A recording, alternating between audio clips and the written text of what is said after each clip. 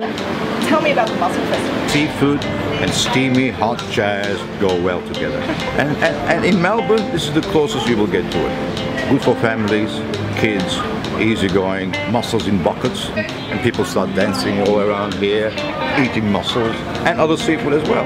Again, mussels are real perfect street food. It's cheap, easy to eat, and it works. So we've got great mussels. I saw them pull these out of the bay and they went straight into a box Yep. and they're here now Yep, and I've been fantastic. told you're going to make a recipe Fantastic. Here we are only using Asian ingredients. All I want to show you how mussels open, how it works, and don't waste that. Go. Are we ready? Let's I'm go. ready. We'll do some olive oil, extra virgin. All of these ingredients here I'm loving. Beautiful, vibrant colours. Look, it's basically green. ginger. This is sambal that we make here. It's, uh, it's lemongrass base.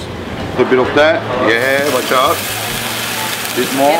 Now, of course, when you put your ingredients, all you have to be careful about is the, the burning of it. Now, garlic will go. Will go. This is just flavoring the oil.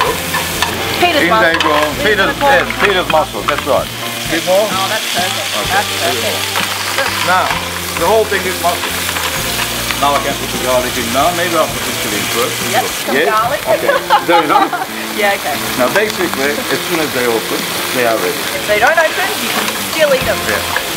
That's what I like. We're not wasting anything. This is let's. Oh yeah, let's bring it on. Yes. We've got the ginger, the garlic, the chili. You can actually you can smell the, the saltiness from the mussels. See, they started opening now. Yes. Now what I'll do, just to quicken the process, cut, cut all the flavors in now.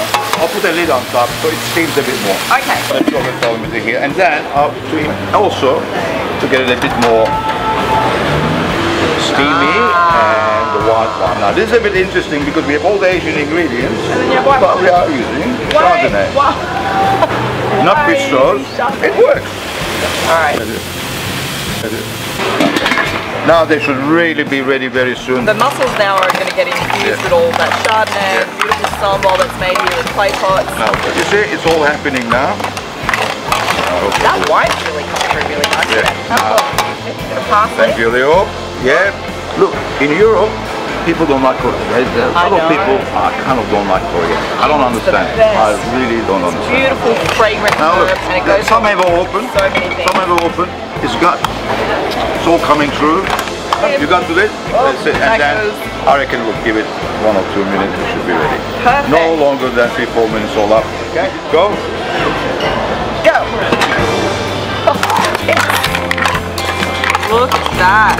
And all that beautiful sauce, we're to be able to use some bread, You see, that up. some haven't opened. I'm to eat that straight out of the Okay, go for it. That. A little bit hot, but let's go.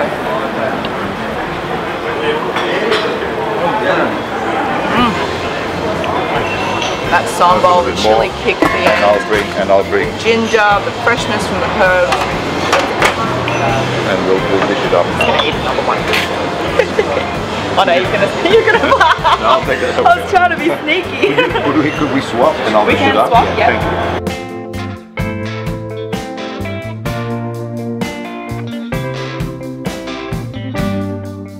Look at that. That's gorgeous.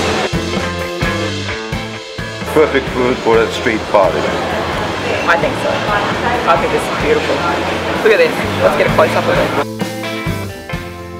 If you don't like mussels, you learn to like mussels.